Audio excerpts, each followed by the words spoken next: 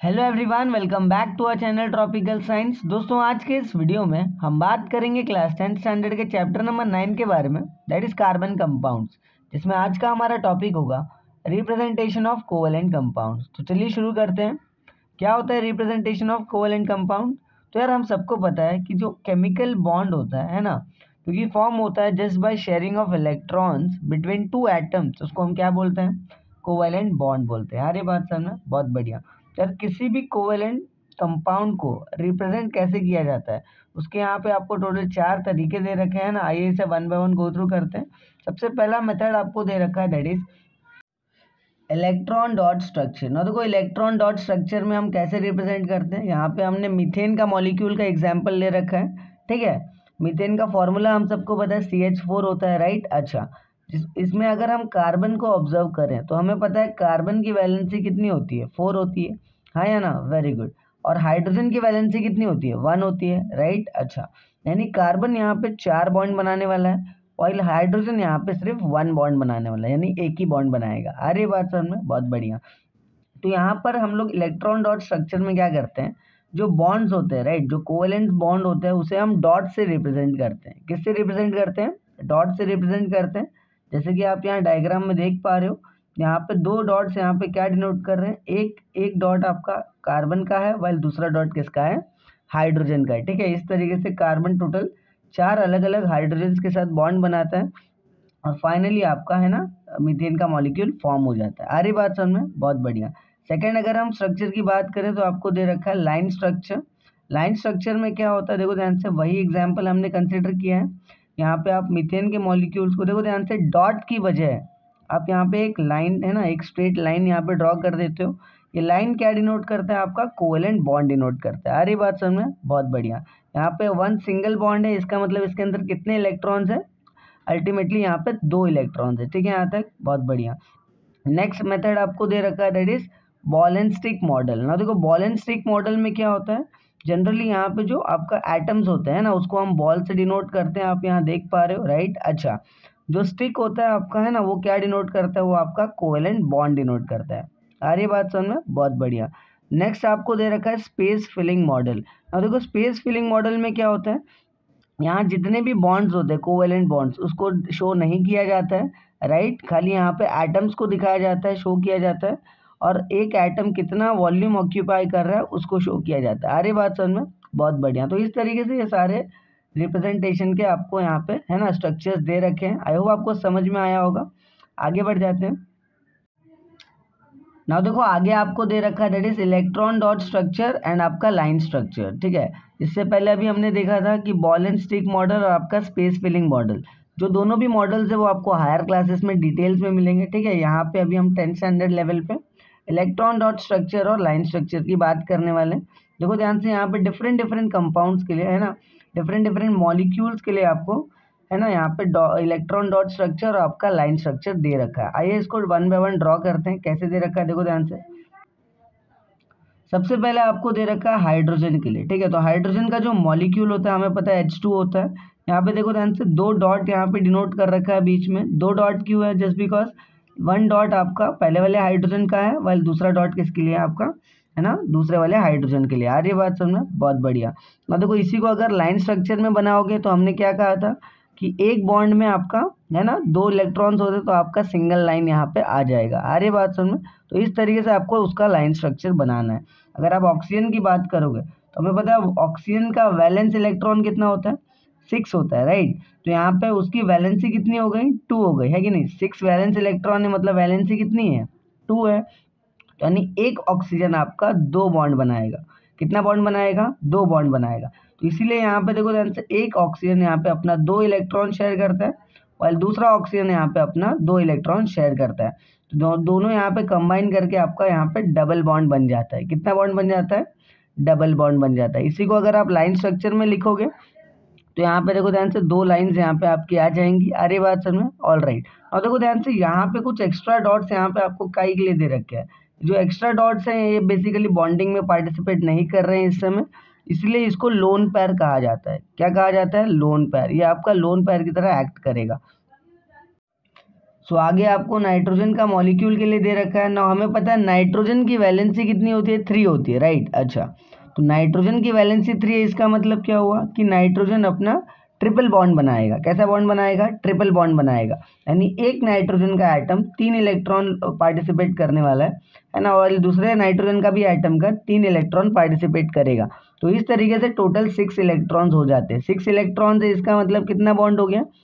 तीन बॉन्ड हो गया, यानी ट्रिपल बॉन्ड हो गया। रही बात समझ बहुत बढ़िया। इसी का अल्टरनेटिव अगर आप लाइन स्ट्रक्चर बनाओगे तो आप यहाँ देख सकते हो है ना? ट्रिपल बॉन्ड यहाँ पे हमने ड्रॉ कर रखा है। यहाँ पे भी नाइट्रोजन के पास दो एक्सेस इलेक्ट्रॉन है। देखो ध्यान से ये आपका लोन पैर की तरह एक्ट करने वाले हैं। आ रही बात समझ बहुत बढ़िया। तो इसी तरीके से यहाँ पे डिफरेंट डिफरेंट कंपाउंड्स के लिए क्लोरीन के लिए है ना? वाटर के लिए नाइट अमोनिया के लिए सबके लिए दे रखा है। आ रही बात समझ में? बहुत बढ़िया। सो so, आगे आपको दे रखा है कार्बन अ वर्सेटाइल एलिमेंट ना देखो अगर हम बात करें कार्बन की ठीक है? तो कार्बन हम सबको पता है क्या करता है? अपना फोर वैलेंस इलेक्ट्रॉन को शेयर करके राइट क्या बनाता है? कोवेलेंट बॉन्ड बनाता है राइट अच्छा। और इसके अगर हम स्ट्रक्चर की बात करें तो इसका सिंपलेस्ट स्ट्रक्चर क्या होता है आपका? मिथेन का मॉलिक्यूल है कि नहीं? अच्छा। अगर हम इसको कंपेयर करें, है ना अदर एलिमेंट्स के मुकाबले तो इसका नेचर बहुत ही डिफरेंट होता है। इसीलिए, इसी वजह से आपका, है ना, इसके number of compounds extremely large होते हैं राइट अच्छा। अगर हम बात करें एंटायर लिविंग किंगडम की या फिर आपके बॉडी की राइट तो सारी चीज़ें जो हैं किससे मिलके बनी है? आपका कार्बन से मिलके बनी है। यानी मिलियंस ऑफ़ मॉलिक्यूल्स है ना, अगर उसके रेंज की बात करें starting from simplest methane molecule से लेके एक्सट्रीमली बिग मॉलिक्यूल्स यानी डीएनए मॉलिक्यूल्स जो होते हैं राइट वो सब किससे मिलके बने आपके कार्बन से मिलके बने इसका मॉलिकुलर मास का रेंज आपको कहाँ तक दे रखा है? That is ten raise to power twelve right आप जस्ट इमेजिन करिए कितना बड़ा नंबर है राइट अच्छा यहाँ पे अगर हम कार्बन के कैरेक्टरिस्टिक्स की बात करें राइट तो बेटा आपको यहाँ पे चार कैरेक्टरिस्टिक्स दे रखे कैरेक्टरिस्टिक्स ऑफ़ कार्बन तो यहाँ पे टोटल आपको फोर कैरेक्टरिस्टिक्स दे रखे हैं, जिसमें सबसे पहला दे रखा है दैट इज़ कैटिनेशन पावर ना देखो कैटिनेशन पावर क्या होता है? तो यार कार्बन जो होता है, इसके पास एक यूनिक एबिलिटी होती है है ना? To form a strong covalent bond with other carbon atoms यानी एक carbon atom other carbon atoms के साथ, है ना बॉन्ड बना लेता है कि नहीं? यही यूनिक एबिलिटी को क्या बोलते हैं? आपका कैटिनेशन पावर बोलते हैं। यहाँ पे देखो ध्यान से, वो कार्बन आइटम आपका, है ना, दूसरे कार्बन आइटम के साथ दो तरीके से बॉन्ड बना सकता है। पहला तरीका होता है ओपन चेन में और सेकेंड तरीका होता है क्लोज चेन में राइट अच्छा ओपन चेन जो होता है, वो आगे जाके फर्दर दो पार्ट में डिवाइडेड है। सबसे पहला होता है स्ट्रेट चेन और सेकेंड होता है आपका ब्रांच चेन वाइल आपका क्लोज चेन जो होता है, वो आगे जाके किसमें डिवाइडेड है? रिंग चेन में। ठीक है यहाँ तक? अच्छा। यहाँ पे आप देख सकते हो कार्बन जो है स्ट्रेट है ना, एक के आगे एक राइट वहाँ पे इस तरीके से आपका कनेक्टेड है। और ब्रांच चेन में आप देख सकते हो इट इज़ लाइक है ना टी शेप यहाँ पे आप देख पा रहे हो ट्री के शेप में रहता है, यहाँ पे आप देख सकते हो। तो it is like a branch very good अगर हम रिंग रिंग चेन की बात करें तो यहाँ पे कार्बन देखो ध्यान से क्लोज मैनर में रिंग की तरह क्या है? कनेक्टेड है। ठीक है? तो ये जो स्पेशल एबिलिटी होती है, इसी को हम क्या बोलते हैं? कैटिनेशन पावर बोलते हैं। सेकेंड प्रॉपर्टी की अगर हम बात करें तो आपको दे रखा है सिंगल एंड मल्टीपल बॉन्ड्स ना देखो कार्बन की खासियत ये होती है कि दो कार्बन के बीच में है ना आप सिंगल बॉन्ड भी बना सकते हो डबल बॉन्ड भी बना सकते हो और आपका ट्रिपल बॉन्ड भी बना सकते हो, ठीक है? ये एबिलिटी सिर्फ़ कार्बन के पास पाई जाती है। देखो ध्यान से यहाँ पे, आप देख सकते हो, अगर कार्बन के बीच में है ना कार्बन कार्बन के बीच में सिंगल बॉन्ड है राइट तो उसको हम एल्केन बोलते हैं। अगर कार्बन कार्बन के बीच में डबल बॉन्ड है तो उसको हम एल्कीन बोलते हैं। और कार्बन कार्बन के बीच में ट्रिपल बॉन्ड है तो उसको हम एल्काइन बोलते हैं। अरे बात समझ में बहुत बढ़िया। नेक्स्ट आपको दे रखा है दैट इज़ टेट्रा वैलेंसी ना देखो, हम सबको मालूम है कि कार्बन जो होता है ना, इसकी वैलेंसी चार होती है, यानी एक कार्बन आइटम चार कोवेलेंट बॉन्ड बना सकता है फोर डिफरेंट डिफरेंट आइटम्स के साथ। अरे बात समझ में? तो यहाँ पे आप देख सकते हो एग्ज़ाम्पल में आपको मीथेन दे रखा है। सेंटर में आप देखोगे तो कार्बन आइटम है ना, चार कोवेलेंट बॉन्ड बनाता हुआ आपको नज़र आ रहा है ना फोर डिफरेंट डिफरेंट आइटम्स के साथ राइट तो यानी ये एक जो प्रॉपर्टी ऐसी होती है है ना? जिसकी वजह से कार्बन के, है ना, बहुत सारे extremely large number of compounds form होते हैं। अरे बात सुन में। अगर आप इसको कंपेयर करोगे किसी अदर आइटम्स के साथ, जैसे मान लो हाइड्रोजन हो गया तो हाइड्रोजन की वैलेंसी तो वन है ऑक्सीजन की वैलेंसी टू है, और नाइट्रोजन की वैलेंसी थ्री है राइट लेकिन कार्बन की जो वैलेंसी वो क्या है? सबसे ज़्यादा है, यानी क्या है? फोर है राइट तो इसी वजह से ज़्यादा वैलेंसी होने की वजह से ये मैक्सिमम नंबर ऑफ़ क्या करता है? कंपाउंड्स फॉर्म करते हैं। अरे बात समझ बहुत बढ़िया। ना देखो नेक्स्ट आपको दे रखा है आइसोमेरिज्म ना देखो आइसोमेरिज्म में क्या होता है कि ऐसा फिनोमिना जिसमें कुछ कंपाउंड्स होते हैं ना, जिनका मॉलिकुलर फॉर्मूला क्या होता है? सेम होता है, लेकिन स्ट्रक्चरल फॉर्मूला क्या होता है? डिफरेंट होता है, उसी को हम क्या बोलते हैं? आइसोमेरिज्म बोलते हैं।